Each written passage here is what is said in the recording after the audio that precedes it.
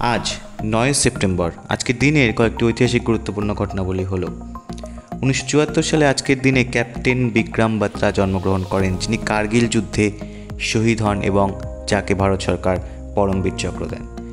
আজকের দিনে উনিশশো সাতষট্টি সালে ভারতের বিখ্যাত বলিউড অভিনেতা অক্ষয় কুমার জন্মগ্রহণ করেন। কিছু ঐতিহাসিক ঘটনাবলীর মধ্যে উল্লেখযোগ্য ঘটনাবলী হলো, উনিশশো সালের আজকের দিনে বাঘা যতীন ব্রিটিশদের সাথে বুড়িবালামের তীরে যুদ্ধে অবতীর্ণ হন। উনিশশো কুড়ি সালে আজকের দিনে আলিগড় মুসলিম ইউনিভার্সিটি প্রতিষ্ঠা হয়। উনিশশো পঁয়তাল্লিশ সালে নয় সেপ্টেম্বর জাপান চীনের কাছে আত্মসমর্পণ করেন এবং উনিশশো ছিয়াত্তর সালে বিখ্যাত কমিউনিস্ট নেতা মাও সেতুং মৃত্যুবরণ করেন। এমন আরও রোজ ভিডিও আপডেট পেতে আমাদের চ্যানেলটি অবশ্যই সাবস্ক্রাইব ও ফলো করবেন। ধন্যবাদ।